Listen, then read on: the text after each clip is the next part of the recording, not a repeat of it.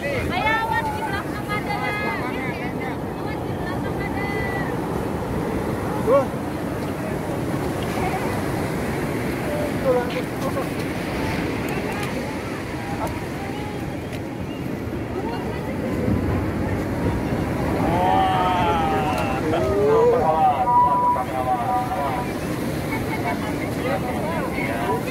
Aduh.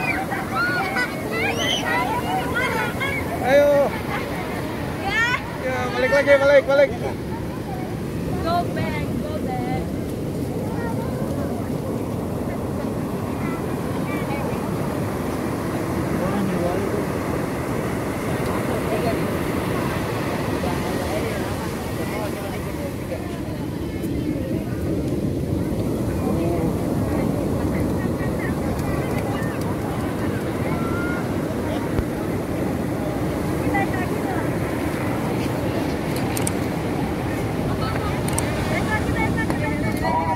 Kosong, kosong.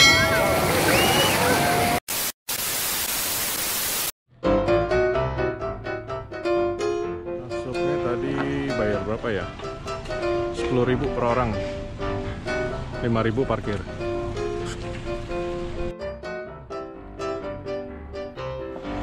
Pintu masuknya.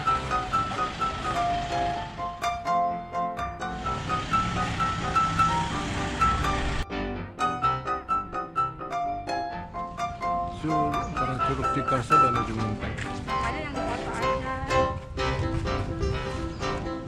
Balai Pengawasan Konservasi Sumber Daya Kelautan Perikanan. Karena parkirannya kayak gini nih, mau lihat tukik, melihat tukik dilepas. Hmm, area pelestarian penyu, rame.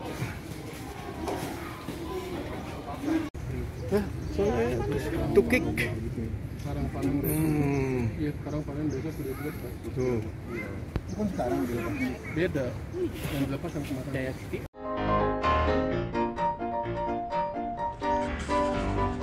Ini di mana ini? Ruang karantina tukik kepenyu. Gede banget. Sini, Abi, pegang dong.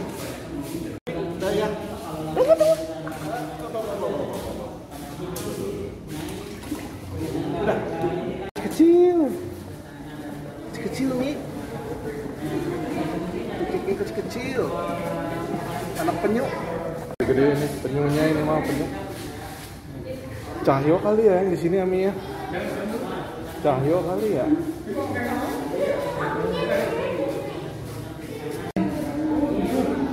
Hmm, lucu.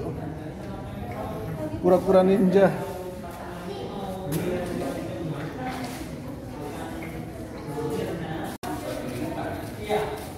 Uh, gede-gede ya. Hello, Tartar. Jangan ini hati-hati kepalanya katanya. Kenapa? Dia kan suka bisa begitu kayak Oh, bisa gigit loh. iyalah gigitannya keras dia. Nah, dia pura-pura ninja. Oh.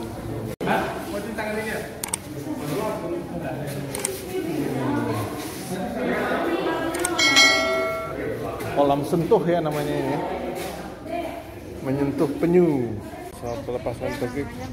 Tukik kan, bener ya. Nih, Mi, penjelajah samudra tuh kan dibilangin ada tujuh jenis penyu yang bertahan. Penyu hijau, sisik. Dia muter ya.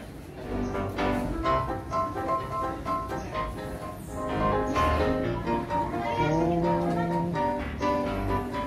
Area pantai peneluran penyu. Penyu bertelur di sini, guys. Ambil aqua dulu. Ambil aqua dulu soalnya. Suasananya kayak gini. Hmm. Oke. Wow.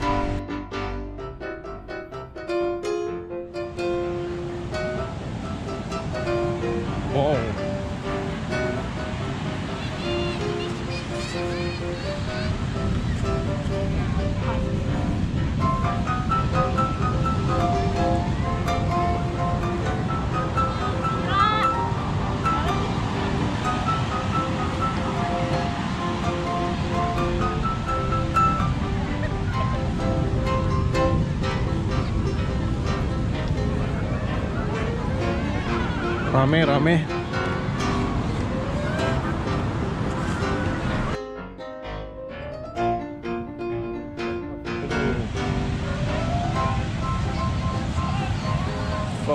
Wah, nih tempat pelepasan tukik di sini. Kok dibakar-bakar ya? Kenapa ya?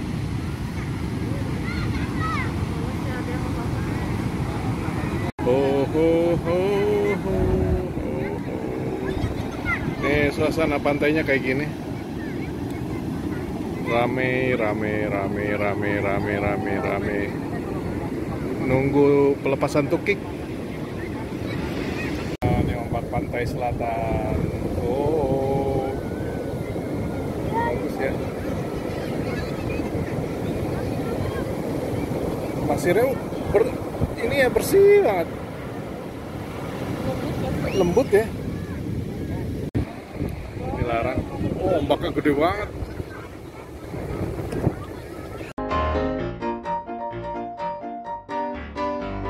Sini banyak sampah karena dari laut ya.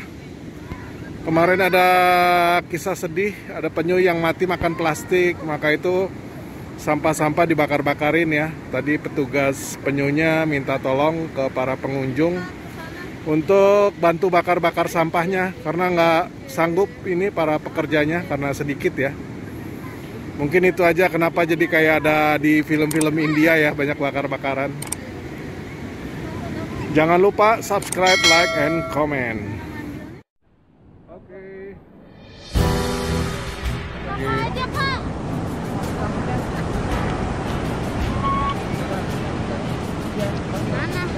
Ah, mana tuh kicknya? Belum datang.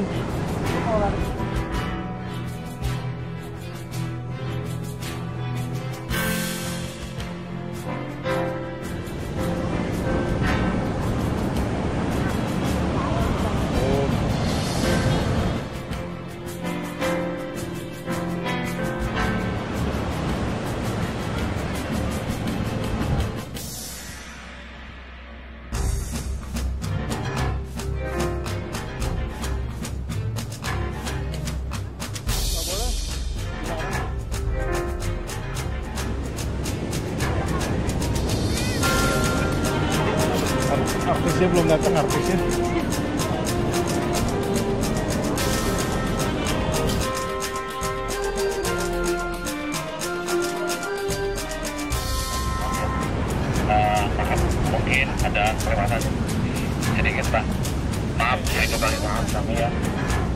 Assalamualaikum warahmatullahi wabarakatuh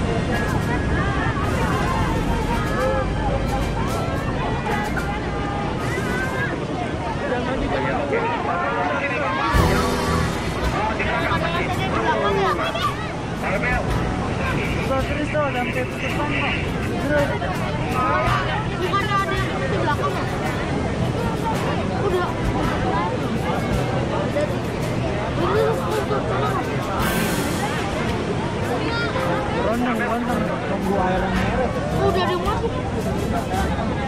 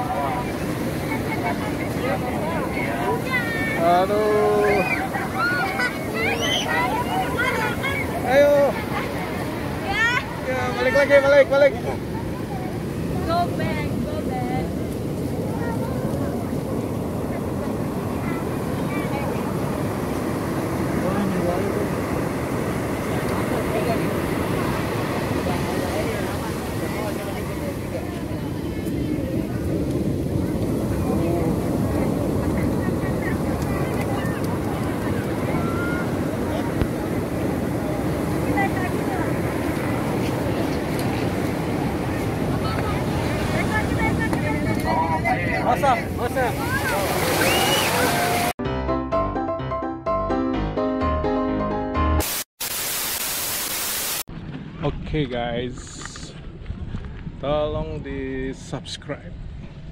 Ngiri Traveler. Cos. Jangan lupa ya buat subscribe YouTube channel ini supaya bapak saya semangat buat melanjutkan membuat videonya. Terima kasih.